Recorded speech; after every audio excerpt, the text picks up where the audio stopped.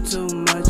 I swear that these niggas, they be doing too much. I ain't got it. What's good, YouTube? Welcome back to Money Yachi TV, man. Today, we got King Von Von and NBA Youngboy, man. So listen, over the past year, us as fans always thought there was always a lot of tension and animosity between NBA Youngboy and King Von, and with good reasoning.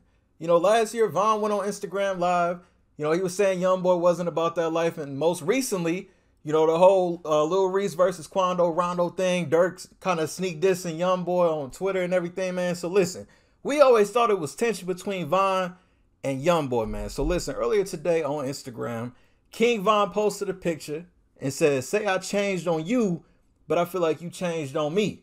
It's a pain song, man. And what I mean by that, a fan went in the comments and said, "So you mess with that Young Boy?" Von responded to that fan and said I was in the streets acting crazy off that when I got out. That basically saying, man, King Von ain't got no issue with Young Boy. I think, and I said this before, man. I said maybe it's just you know the internet and everybody kind of trying to make an issue between the two because you know both sides they really bought that life, man. But hopefully, man, y'all let me know what y'all think about this whole situation. Is there just was there never an issue with Von and Young Boy? Y'all think they squashed it behind the scenes? Do y'all hope to see Von and Youngboy on the track together, man? Let me know down in the comments down below. If y'all new to the channel, y'all rock with me. Want daily reaction videos and hip hop news, hit that subscribe button. Follow me. Until the next video, I'll see y'all then. Thank you for watching Money Yachi TV. I'm out.